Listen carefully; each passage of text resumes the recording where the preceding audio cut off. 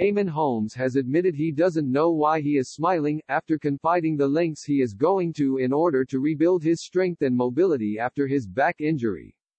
Eamonn Holmes, 63, temporarily stepped away from his regular TV slot after announcing he was dealing with tortuous chronic pain. The GB News favorite is now making a desperate bid to regain his mobility for a comeback following intensive back surgery and physiotherapy, as he announced on Instagram over the weekend. The star explained he would be working up to four days on GB News Breakfast from this week, but that the road ahead will be tough. Don't know why I am smiling. He joked to his 766,000 followers, with an eye-rolling emoji. Off to the gym to keep building my strength and mobility. Pushing myself hard trying to make my legs respond. Wish me luck, he concluded. Eamonn had previously been left feeling emasculated after his health problems prevented him from so much as tying his shoelaces. He has been inundated with support by his huge following, with a string of celebrities reacting to the post which has received over 20,000 likes. Martine McCutcheon encouraged that he was looking well when she saw the snap of him on his way to the gym, while S Club 7's Jo O'Meara assured him, you got this. His former This Morning co-star Alison Hammond praised him for looking so young as he embarked on his return to work.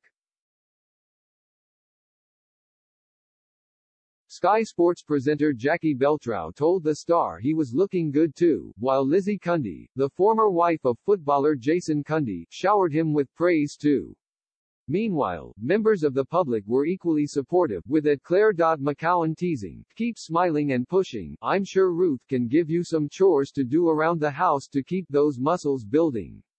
At Frederica Crum added, I bet it's not easy for you but we all love having you back.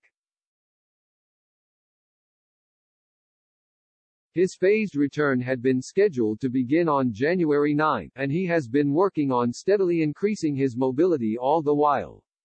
Eamonn previously admitted that his struggle to move around was soul-destroying and was inundated with support from the likes of Huw Edwards and Homes under the Hammer star Lucy Alexander.